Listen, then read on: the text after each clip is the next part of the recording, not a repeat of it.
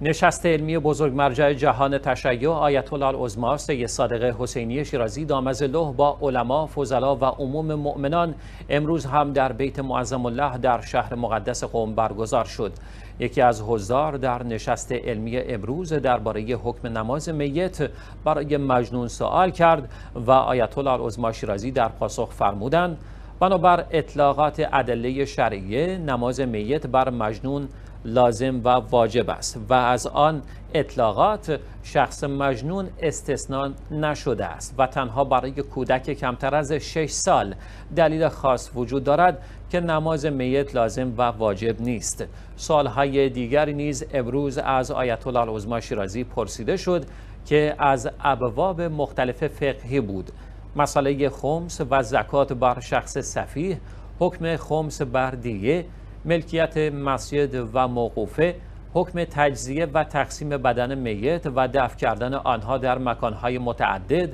و تهارت بخار خمر از مهمترین موضوعهای مطرح شده در نشست علمی امروز بود که آیت الله العظما شیرازی به تک تک سوالهای مطرح شده پاسخهای تفصیلی دادند. لازم به ذکر است که نشست علمی بزرگ مرجع جهان تشیع آیت الله العظما سید صادق حسینی شیرازی دامزلو با علما، فضلا و عموم مؤمنان روزانه در بیت معظم الله در شهر مقدس قم رأس ساعت 12 و 15 دقیقه برگزار می شود و به صورت زنده از شبکه جهانی امام حسین علیه السلام پخش می شود.